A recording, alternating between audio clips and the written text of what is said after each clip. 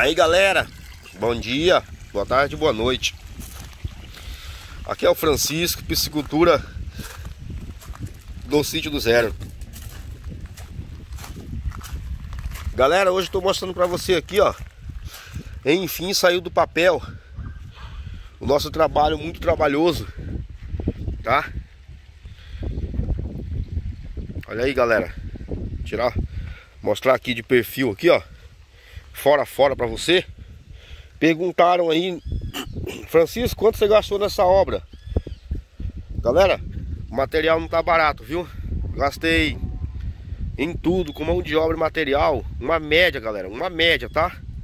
De 6 mil reais, 6, tá? Em um galpãozinho aqui, ó, para depósito de... Com tamanho de 3 por 8, 3 metros por 8, tá? Esse, esse, esse valor de medição é externo. Interno com os blocos, né? A gente acaba perdendo aí quase meio metro, né? Para quem conhece, né? É, então, é isso aí, ó. Entrando dentro, tá, galera? Não tem nada, né? De buraco, somente ali, ó. Aqui eu vou colocar uma telinha para não ficar abrindo e fechando, para ficar sempre permanente, tá, galera? Aqui, ó. Aqui, como eu falei, aqui vai ser uma tomada, já tá aqui o canduíte. Mostrei no vídeo anterior. Tem um canduíte aqui, ó, para colocar a tomada, tá? Outra tomada, tá bom, pessoal? É isso aí, ó. É algo simples, objetivo, direto. Ali, mais no final, pessoal, eu vou estar tá colocando o nosso... É, a nossa... Nossa ração, tá? Colocar um pallet ali, ó. Sobrou bastante pallet das telhas. É isso que eu vou fazer, tá, galera? Colocar aí uns quatro pallet. Empilhar as rações aí, ó. Bem empilhadinha, bonitinha, né? E eu tô pensando aqui, galera, de fazer exatamente isso, tá?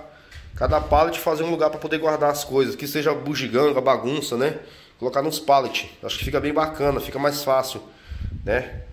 Se tivesse tempo para poder fazer tudo bem feito, pintaria os pallets, pintaria um de azul, um de verde, um de rosa. Aí quando falar para alguém, ah, vai lá no pallet rosa, pega a furadeira, né? Pensei assim, certo? Então, o pessoal já terminou aqui, ó. Telha. Deu uma chuvinha aqui agora, pessoal. Não molhou, então já, já foi aprovado, né? Se não molhou, tá bom. Então, galera, é isso aí, ó. Aqui é a porta. Segunda-feira, hoje é domingo, tá? Segunda-feira vai chegar a porta pra gente colocar aqui, ó. Aqui, galera, eu comprei uma porta de alumínio, tá? Pra não ficar... Como vai ter bastante queda de água nela, a água vai bater e não vai danificar. Alumínio, sabe como é que é, né? Aqui do lado de fora, galera, nós deixamos um buraco que vai ficar aberto para sempre aqui, ó. Tá vendo aí, ó? Esse aqui vai ficar aberto para sempre. Vou ter que pegar outro perfil para você ver, ó. Olha aí, ó. O meu filho tá nas minhas costas, dá para ver na sombra, né? Vou mostrar para vocês. Olha aqui, ó. Aqui, galera, eu vou estar tá colocando a pia, né? Eu ganhei essa pia do Sinival, obrigado aí, Sinival, mais uma vez, por estar tá dando nosso apoio. Aqui, galera, eu vou colocar uma lâmpada, né? Olha aqui o buraco que eu mostrei pra vocês, ó.